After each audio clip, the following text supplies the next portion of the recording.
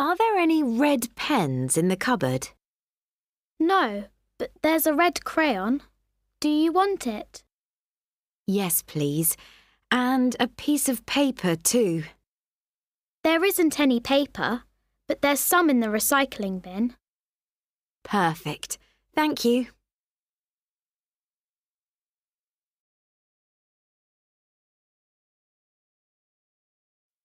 Are there any red pens in the cupboard? No, but there's a red crayon. Do you want it? Yes, please. And a piece of paper, too. There isn't any paper, but there's some in the recycling bin. Perfect. Thank you.